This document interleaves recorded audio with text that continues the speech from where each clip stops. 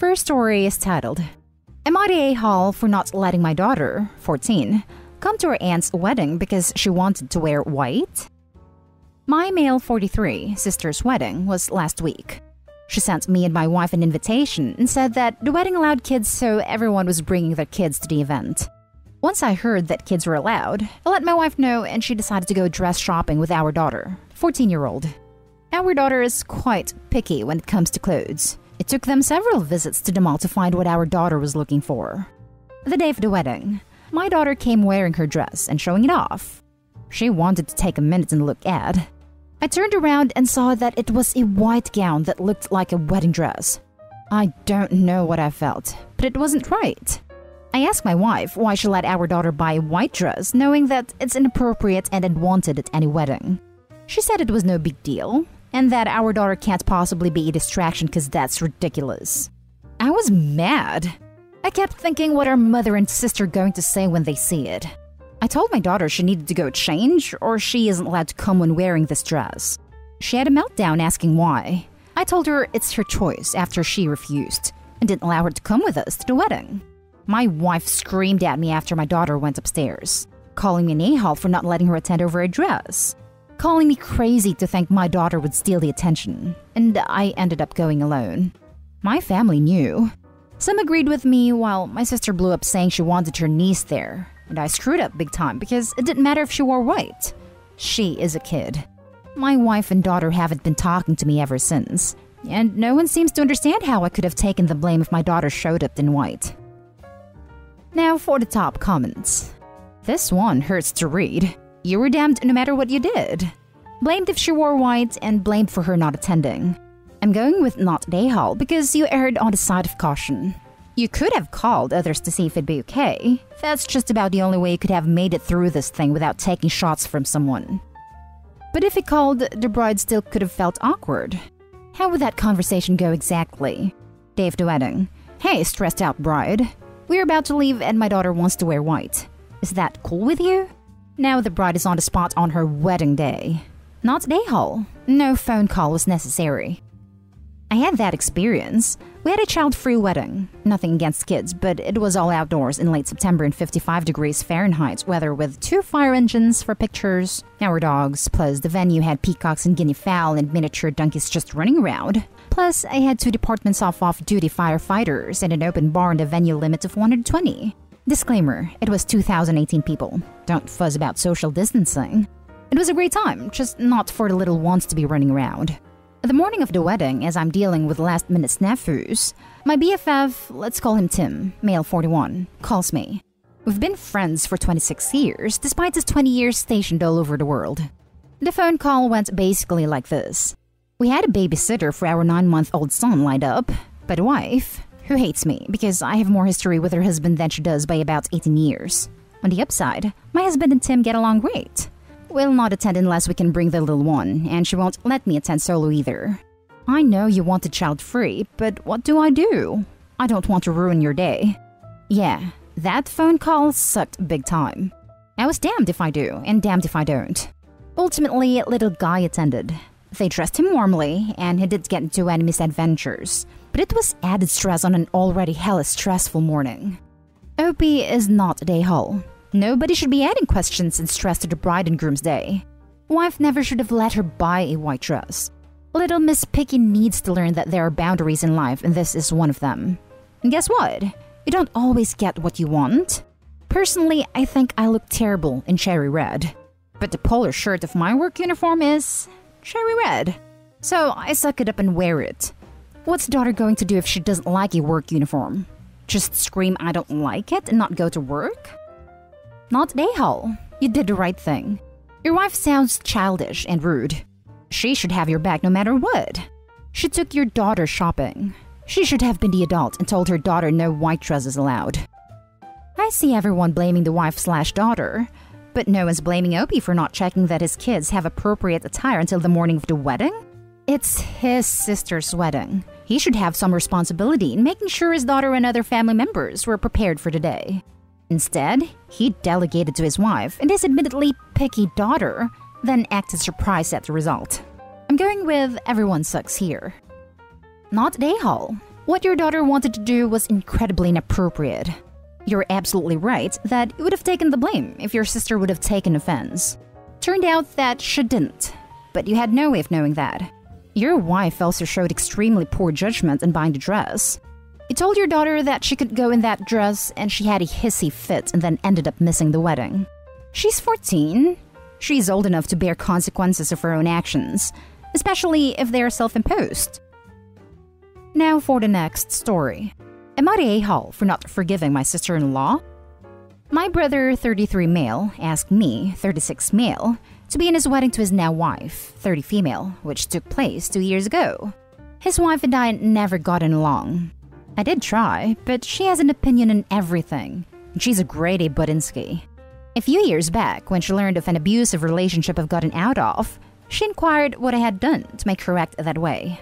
When I replied that I hadn't done anything, she smirked and said, Yeah, I'm sure you didn't do anything to cause this. I asked if she would ever ask a woman what she did to make her husband strike her. She replied, It's not the same situation.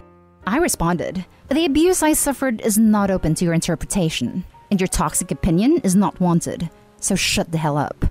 Things were never great after that. A month before the wedding, she got a card in the mail with Miss Piggy and a dress on it. It wasn't signed, but she assumed it was me mocking her. She informed me that if I did fess up, I was out of the wedding. I told her I hadn't done it and I wouldn't have done it. My brother told me he was sorry, but he had no choice. I was uninvited from the wedding. We've been civil since then, but we are not close at all anymore. When family functions happen, I will inquire Is Crabhead going to be there? Note, I do not use her name. This is how I refer to her, and I'm not sorry for that. I will not attend if she's there. My parents have begged me to make things right with her because it's making their lives difficult. Recently, she came up as a suggested follow on Instagram. I looked through her posts, and then at her tagged posts. And there it was, the Miss Piggy card, posted by one of her gay friends. Mailed this off to a fabulous bride to be last month. Congratulations, girl! I sent the post to my brother, and within an hour, he was on the phone with me in tears. His wife claims she never saw the tagged post, and the guy never told her in person. Almost definitely lies. She says, based on my attitude towards her, she was right to assume that I sent it, and she's not apologizing. My brother is begging me to forgive her and move on, so that we can have a relationship again. I told him that what they both did is unforgivable, and if she won't at least admit that she was completely in the wrong, I wanted nothing to do with her ever again. I said she was a lying sack of garbage and cancer in our family. My brother just kept repeating that he was sorry and couldn't stop crying. My mom called me up and asked me to please leave the past in the past, that they can't fix not inviting me to their wedding. I replied, That's right, they can't. They were wrong, and now they can never fix it. And I hope they feel terrible forever. I know that I'm digging my heels in and being spiteful. Am I being too much of a-hole? Not a-hole. Even if she genuinely didn't know her friend sent it, she never vented to anyone about it? Like she never said to her friends, My a-hole brother in law sent me this terrible card. To which somebody would have said, That was actually so and so. They were sending that card as a fun joke. They caused the split. It's not on you to make it right. She was also tagged on Instagram the day before her wedding. She claims she never saw it. Like, even at that point, if she admitted she messed up and asked me to attend, I still would have been upset with her. But I would have attended, and I would have had quite a bit more respect for her. At this point, we're past simple misunderstandings and into caught in a harmful lie. Oh, for sure. She seems like the kind of person who isn't prone to apologies. Probably rationalized it as he still would have done something to ruin the day, to make herself feel better. Not today, Hall, and your sister in law sounds like a nightmare. But won't lie, Part of me feel for your brother. It sounds like obviously he cares about you and stuck in a bad spot between two people he loves. I agree you have no reason to forgive her, but do hope you can patch things up with him in the future. He is honestly the only reason I feel bad. I love my brother dearly and always will, but I won't deny that I'm angry with him. I don't see anything he can do, short of walking away from her, that would come close to fixing things. I do not want him to give up on his marriage because I know he does love her. I might be completely off base, but I just have to ask Are you sure your brother is okay? Like, is he prone to crying normally? I only ask because between him being inconsolable and her attitude towards male victims of domestic violence, I don't know, man. It just gives me a bad slash weird feeling. I hope he's okay, and that he's just realizing how the chick screwed up his life. But I would probably try to see if he's okay, or if he needs help getting out. Next story is titled Am I the a-hole for making my mother-in-law cover her white dress with a sweater at my wedding? I got married Saturday, and mother-in-law showed up in a white dress for some reasons beyond her control. She's currently eight and a half months pregnant, so it isn't like she had a bunch of options. And her foot got put in a boot for an ankle injury a few days before the wedding, and said she couldn't walk right in the floor-length dress. I tried not to be a bridezilla, because obviously I don't want her to trip when she is heavily pregnant. But she showed up and immediately started screaming at me that this is the only dress she has. And if I don't like it, she will leave. Because she is sick of our crap, which she didn't elaborate on. I said that was fine, but I asked her to wear a sweater that my mom had to offset the white dress. Mother in law started to cry and said that I was being mean to her, and she doesn't want to look like a Sunday school teacher.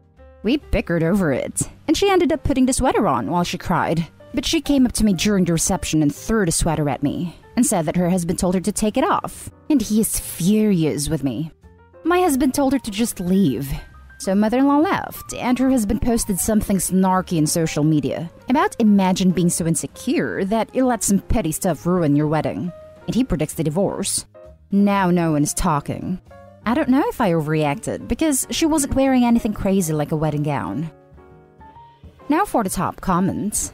Not Dayhall. You did not overreact. Your mother in law did. Possibly because she's pregnant, or possibly not. While she may have had limited dress options at 8.5 months pregnant, she should know better and should have brought her own sweater or a wrap. Her husband is a douche. It would have been better if your husband had handled the situation from the beginning and in the future should handle any issues with his family, and you with yours. They also sell laundry dye now. Literally throw the dye in the machine, and it changes the color perfectly and rinses out of the machine. You can even do it by hand. Not Dayhall. She did it on purpose and rubbed it on your face straight away to steer the pot. She was looking for trouble. Not Dayhall. Normally, I would be more forgiving considering the pregnancy and her injury. But the fact that she showed up and made a big deal over her own outfit by screaming at you before you had even brought it up to her says she was seeking that attention all along. To throw on hysterics and cry and have a temper tantrum because she was asked to wear a sweater is ridiculous. And the fact that your husband was so disgusted with his own mother that he asked her to leave your wedding pretty much says it all. Also, his dad posting that trash on social media is absurd. What the hell kind of parent does that after their kid's wedding? That guy isn't his dad, and would love nothing more than for mother in law and my husband to never speak again. We are already banned from their house, and I'm not allowed to meet the baby. Now, for the last story. Am I the a hole for refusing to let my stepdaughter use my daughter's wedding dress? I'll try my best to explain the situation and make sure to present both sides. I, 49 female, met my stepdaughter, Zoe, 2.5 years ago married her father less than five months ago. It was a small and private celebration, since that's what we felt was the best thing to do, since I'm still grieving my daughter Lauren, who passed away from sepsis at the age of 26. It was so sudden. She was doing okay and was getting ready for her wedding that was supposed to happen the same month she passed away. We still don't know what went wrong. We were devastated, to say the least. Her fiance had a hard time adapting to the new normal, but I still have contact with him as we're very close. I took most of her belongings, including her wedding dress. We bought it together, and she put a lot of her touches on it and worked hard on it. Although it hurt to look at it, I make sure it's safe. Zoe is younger than Lauren. She's 23. We're not very close, and distance is one of the reasons why, but we're very respectful towards each other. The issue started when Zoe visited to talk about her wedding in April. We were talking about wedding dresses, and she suddenly brought up Lauren's wedding dress. I asked her what about it, and she said she saw it several times and it got stuck on her mind. Asked if she could see it, and I let her. She then said she'd like to wear it at her wedding. I felt uneasy, so I told her I wasn't sure that was a good idea. She told me it's fine, she'll have to change a few things in it so it can fit her size and style. But this is why I had a hard time accepting. I told her I was sorry, but I can't let her have it. She offered me money, but its sentimental value is what matters to me. She argued, saying I was making things complicated, and it was alright since she too is my daughter. She asked if I don't love her as much, so I told her my love for her is different. She threw a fit, calling it unfair and unreasonable to still say no. Her dad got involved in the argument, saying he doesn't see why I'm against it. I declined to discuss it anymore, but they kept bringing it up, asking if my daughter would have wanted someone else to have the opportunity to wear this dress since she unfortunately couldn't. This made me so mad, I lashed out at both of them and kept saying no. Others said that I had no right to act like that, leaving the dress in the closet when my stepdaughter can make good memories with it. But she said she's planning to changing its look. 100% not a Day Hall, but everyone else in this story sure is. The fact that both your stepdaughter and your husband are continually guilting you after you have firmly said no is not just disrespectful, it's preying on your grief. I'm disgusted that any person who claims to love you would presume to tell you that your recently deceased daughter would want. All so a girl can avoid having to look for another wedding dress. And the audacity to tell you that you are making things complicated. I'm infuriated for you. You're right about what you said. My husband said he thinks that Zoe is just trying to get close to me and bond with, and claims I'm not opening up to her. But the dress shouldn't be involved in my relationship with Zoe. I don't know why he refuses to see how unreasonable they're being. It's exhausting, and I can't take any more guilt tripping. I know why. He doesn't respect your feelings, your boundaries, or your grieving journey. I know everyone on the sub says we say to get out of there too fast, but I would ask them to go to family therapy with you ASAP. If they don't agree to give it a shot, then I honestly would call the lawyer. This is a hill I would die on. Someone who loves you will not hurt you like this. He's gonna steal that dress and give it to his daughter. Opie, you should store the dress somewhere else, at least until the wedding's over. Not Dayhall. That dress is no longer just a dress, it's a sacred memory for your daughter. You really need to put it elsewhere though, because I wouldn't put it past your husband or his daughter to take it when you aren't around. I would also tell your husband that he needs to shut the hell up and be grateful he will get to see his daughter get married, not have only a dress left to remind him of what should have been. That you would trade anything to have your daughter back, but since you can't, you will hold on to every memory you have. I would also tell him if he ever goes up against you about anything regarding your daughter's memory again, you will be filing for divorce within 24 hours afterward. And that's the end of this video, folks. As always, leave a comment and hit like and subscribe. And if you want more of this content, turn your notification on to get updated on the latest videos. And I'll catch you in the next one. Stay safe.